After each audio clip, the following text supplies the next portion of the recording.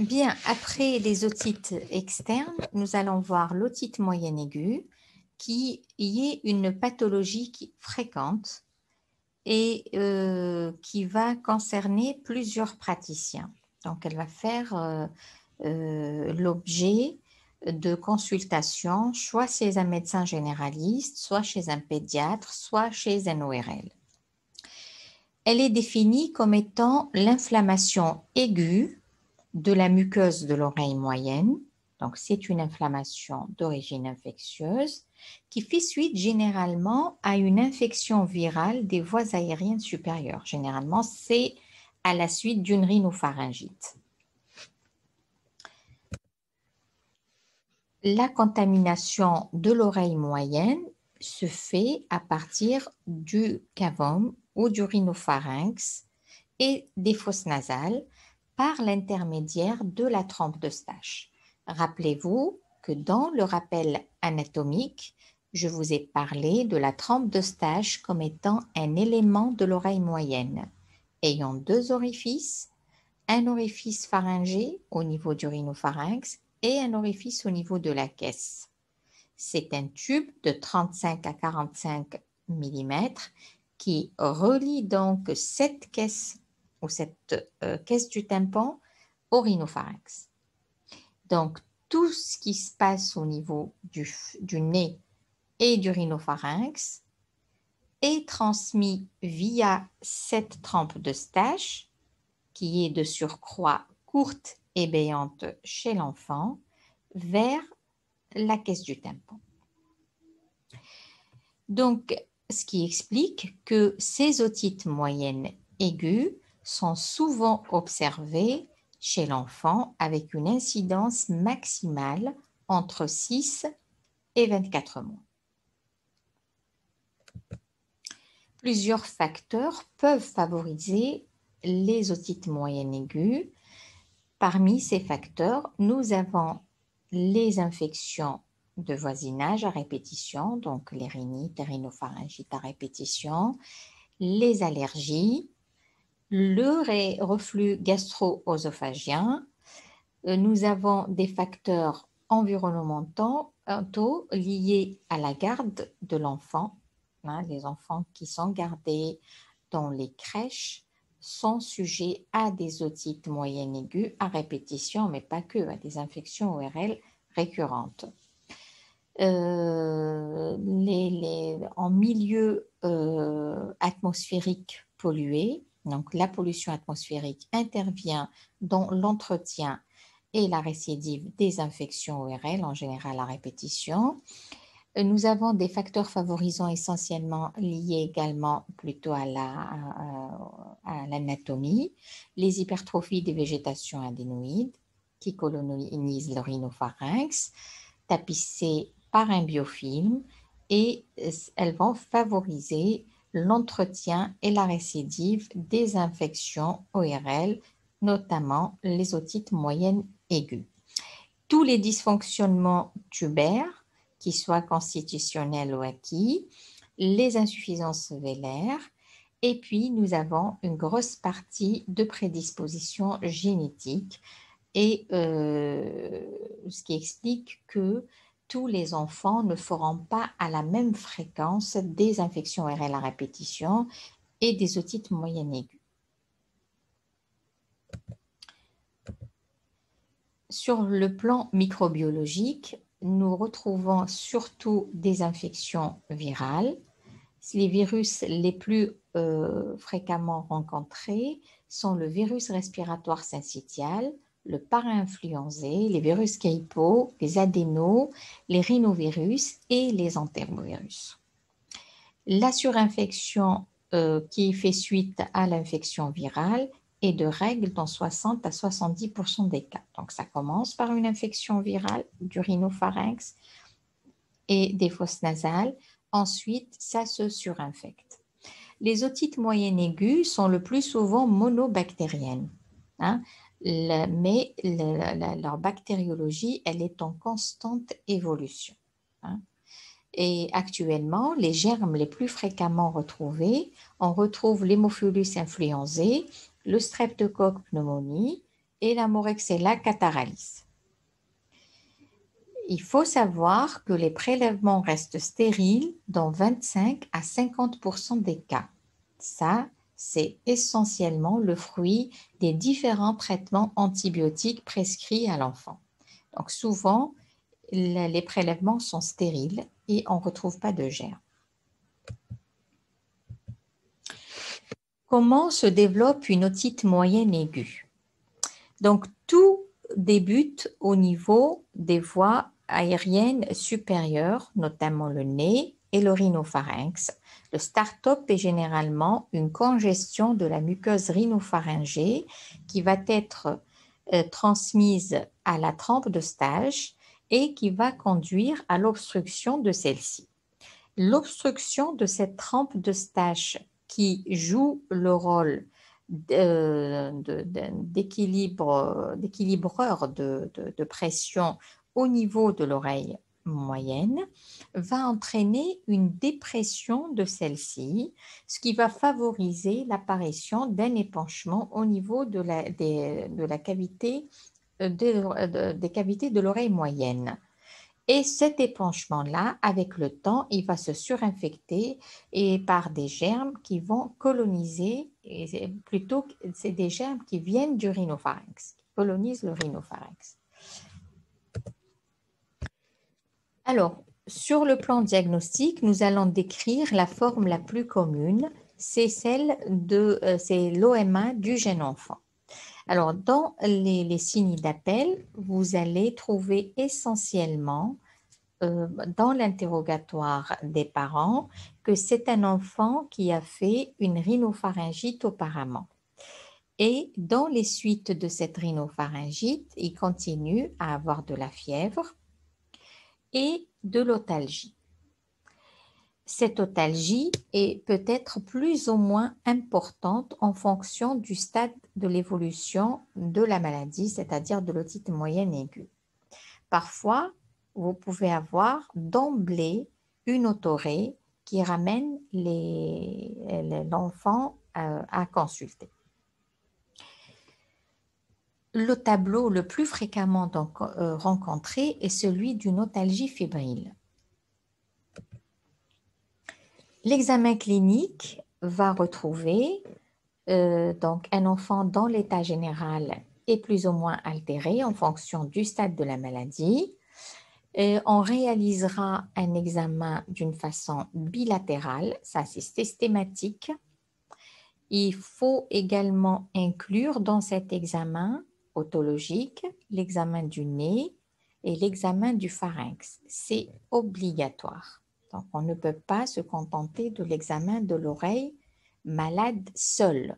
On examine les deux oreilles et on fait un examen ORL complet. Bien, on fait un examen physique, donc on inspecte le pavillon, la région mastoïdienne, on prend notre spéculum qu'on va adapter en fonction de la taille et de la forme du conduit auditif externe. On place le spéculum et on commence à regarder ce qui se passe dans le conduit auditif externe, puis dans le tympan. Et dans l'examen otoscopique, on va avoir trois stades euh, qui vont se succéder en fonction de l'évolution de la maladie on va avoir euh, le stade de l'OMA congestive. C'est le stade de début où on va retrouver un tympan rouge vif ou rosé avec une disparition du triangle lumineux, mais avec des reliefs ossiculaires respectés. Ça, c'est le premier stade. Donc, c'est le stade de début de la maladie. Congestif, on va retrouver le stade dit supéré ou collecté. Et dans ce stade-là, le tympan apparaît bonbon avec une disparition des reliefs ossiculaires et un bombement, ce bombement-là, il signifie la présence d'une collection derrière la membrane tympanique.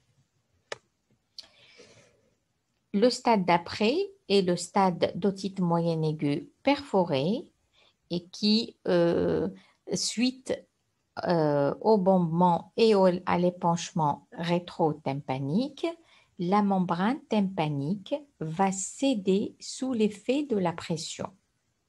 Et donc, on va retrouver une perforation qui va laisser sourdre une otorée purulente. La membrane tympanique, bien entendu, va garder son aspect rouge congestif hypervascularisé. Voici à quoi ressemblent les différents stades de l'otite moyenne aiguë, passant par l'état normal. Donc, sur ce tympan normal, vous voyez la couleur grise translucide, les différents reliefs osseux, et vous voyez ici votre triangle lumineux qui signe la bonne transparence de la membrane tympanique. Au stade congestif, vous voyez que la membrane tympanique est rouge. Vous avez ici de la vascularisation sur le, manche du marteau, sur le cadre osseux, d'accord? Et euh, une, disparition, hein, comme un début de disparition de, du triangle lumineux. Il persiste un petit peu là, mais quand même, il n'est pas aussi évident que sur un tympan normal. Dans le stade de collection, hein, vous voyez une disparition des reliefs ossiculaires, vous voyez cet aspect de congestion et surtout de bombement de la membrane tympanique qui signe la présence d'un épanchement rétrotympanique. Toujours un stade collecté hein, avec un tympan qui est bombé, une disparition des reliefs ossiculaires, d'accord et une congestion de toute la membrane tympanique. Le dernier stade, qui est celui de l'OMA perforé, vous voyez un tympan qui est moins bombé parce que tout simplement il a cédé sous l'effet de la pression de l'épanchement rétrotympanique et vous voyez cette perforation qui laisse sourdre du pub. Est-ce qu'on peut se tromper de diagnostic d'otite de, moyenne aiguë oui, parfois, devant une otalgie, il convient d'éliminer les otites externes diffuses ou localisées, c'est-à-dire les furoncles. Et là, c'est l'histoire clinique. Hein. C'est la douleur, les caractéristiques de la douleur et euh, l'examen physique. Vous avez la, la, pression du tragus, la mobilisation du pavillon qui sont très douloureux dans l'otite externe, qu'elle soit diffuse ou localisée. Le zona auriculaire aussi, c'est une infection virale euh, de, l'oreille, donne une douleur très importante, mais là, vous avez une éruption de la canque et une paralysie faciale qui peut s'y associer ou même être inaugurale. Les otalgies aussi réflexes qui peuvent être d'origine pharyngée, dentaire, une angine, etc. Et dans ces cas, c'est l'histoire clinique et c'est l'examen otoscopique qui est euh, qui vont redresser le diagnostic. Dans les otalgies réflexes, vous avez une otoscopie tout à fait normale.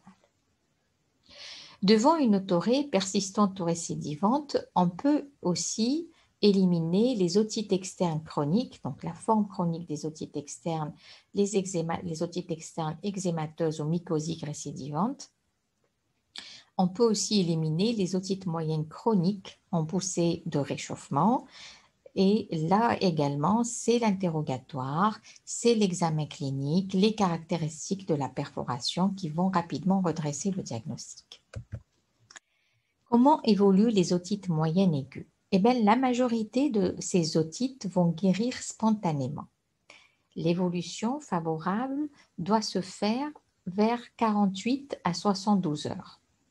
Au-delà de cette période, si l'évolution n'est pas favorable, les patients doivent être, les parents, pardon, les parents de l'enfant doivent être avertis. Hein? S'ils ne remarquent pas d'amélioration, ils doivent ramener l'enfant et reconsulter. Parce que tout simplement, il faut suspecter une complication. Il faut la rechercher avant qu'il ne soit trop tard. Donc, évolution favorable, si au bout de 72 heures, cette évolution favorable ne se fait pas, les parents doivent s'alarmer et ramener encore leur enfant pour la consultation.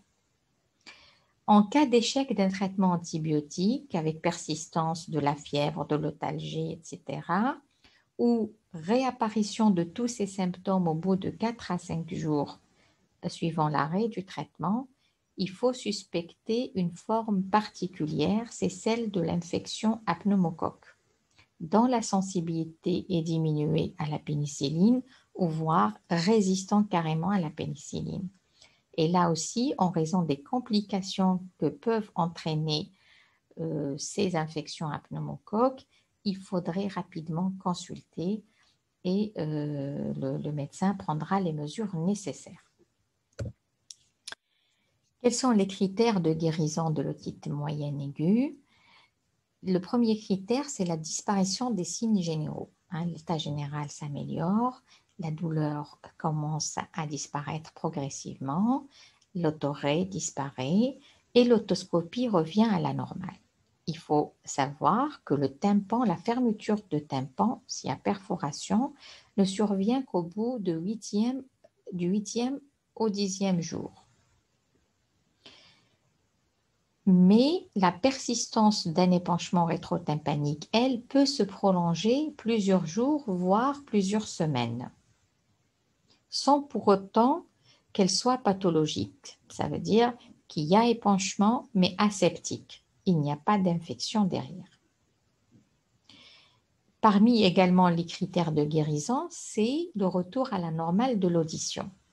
Donc l'otite moyenne aiguë s'accompagne tout de même d'une baisse de l'audition. Hein. Rappelez-vous que la caisse du tympan, l'atteinte de la caisse du tympan peut entraîner une surdité de transmission.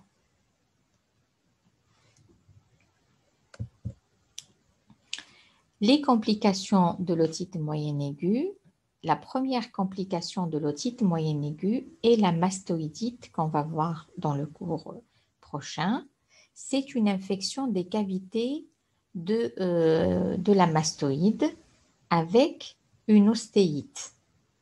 Donc, diffusion de l'infection et de l'inflammation de la caisse vers la partie postérieure de l'oreille moyenne qui sont les annexes mastoïdiens. Deuxième complication, c'est la labyrinthite otitique, donc c'est l'atteinte d'une partie de l'oreille interne. Et cette labyrinthite va être et va se manifester par des vertiges, des nausées, des vomissements et une baisse de l'acuité auditive. Dans l'examen physique, la présence de nystagmus va attirer l'attention vers cette atteinte et cette complication euh, otitique. Le traitement de cette affection repose sur l'antibio par voie générale qui peut être prolongé dans le temps, plus ou moins une corticothérapie, et la récupération généralement survient après plusieurs jours, mais on peut aussi euh, ne pas récupérer euh, son audition et on peut avoir une cophose séquelaire euh, définitive. Troisième complication, c'est la paralysie faciale périphérique. Elle est de bon pronostic dans l'otite moyenne aiguë, c'est-à-dire que le malade récupère après traitement adapté. Les autres complications redoutables, ce sont les complications endocraniennes. Hein, on peut avoir une méningite, un abcès du cerveau, du cervelet ou une thrombophlébite dissunis latérale. Ce sont des complications sérieuses qui, doivent être traitées à l'hôpital. Dernière complication, c'est les perforations séquelaires suite à une otite moyenne aiguë perforée et là, elles vont faire le lit d'otite chronique. Le traitement de l'otite moyenne aiguë repose essentiellement sur l'antibiothérapie. Il faut savoir que cette antibiothérapie ne fait pas consensus. il n'y a pas de consensus mondial quant aux règles euh, de sa délivrance. Selon les recommandations françaises, on donne des antibiotiques avant deux ans. Avant deux ans, on doit donner des antibiotiques, essentiellement de l'amoxicilline, pendant 8 à 10 jours. S'il y a une allergie à l'amoxicilline, euh, on peut donner euh, de la pénicilline ou de, des céphalosporines. Si contre-indication au bêta-lactamine, on passe à ce moment-là à l'érythromycine ou au sulfaméthoxazole avec trimethoprim, c'est ce qui est connu sous le nom de Bactrim. Après deux ans, deux cas de figure peuvent se présenter. Le premier, toujours selon les recommandations françaises, si l'otite moyenne aiguë est euh, peu bruyante, ça veut dire s'il n'y a pas d'altération importante de l'état général, si la température n'est pas très importante, s'il n'y a pas beaucoup d'otalgie, là, on peut ne pas donner d'antibiotiques et on réévalue la situation au bout de 48 heures. Donc, vous devez dire aux parents de vous ramener l'enfant au bout de 48 heures pour le revoir. Deuxième cas de figure, vous avez d'emblée une otite moyenne aiguë avec des signes généraux importants. Hein. une température supérieure à 39, une altération de l'état général, une otalgie très importante. Et là, vous allez prescrire des antibiotiques hein, pendant 5 jours. la durée du traitement chez l'enfant dans l'âge supérieur à 2 ans est égale à 5 jours. Vous donnez les antibiotiques selon les mêmes règles que pour l'enfant dont l'âge est inférieur à 2 ans. On peut aussi donner des antibiotiques et des antipyrétiques, et là, c'est le paracétamol qu'on donne en premier lieu à la dose de 60 mg kg répartie en 4 à 6 prises journalières. Autre traitement, si vous avez une rhinopharyngite, vous pouvez associer un lavage des fosses nasales avec du sérum physiologique pendant 5 à 6 fois par jour et des décongestionnants et des stéroïdes en fonction de ce que vous avez comme euh, euh, symptômes euh, et comme situation clinique associée à l'otite moyenne aiguë. Des gouttes aussi à base d'anesthésiques locaux peuvent être prescrits si l'otite est particulièrement douloureuse. La parasynthèse. Alors, la parasynthèse consiste à faire une incision dans le cadran antéro-inférieur du tympan pour évacuer la collection rétrotympanique et réaliser un prélèvement bactériologique. Cette parasynthèse, a des indications bien précises qui ne font pas aussi consensus, mais les, les grandes indications sont les suivantes. Devant un enfant dont l'âge est inférieur à 3 mois, qui présente une otite moyenne aiguë, donc, c'est un cas qui n'est pas commun. Là, on fait une parasynthèse à visée bactériologique pour recueillir le pu et aller l'analyser. Devant la persistance d'une fièvre, malgré un traitement bien conduit, dans les formes hyperalgiques qui ne répondent pas au traitement algique et en cas d'immunodépression. Un autre élément très important du traitement est le suivi de ces otites moyennes aiguës une consultation est nécessaire, voire obligatoire, à trois mois post-otite, donc après l'otite, pour vérifier la résolution de l'épanchement rétrotympanique et pour voir l'état de l'oreille. C'est obligatoire de voir et de s'assurer que le tympan est revenu à la normale, que euh, s'est refermé et qu'il n'y a plus d'épanchement rétroauriculaire.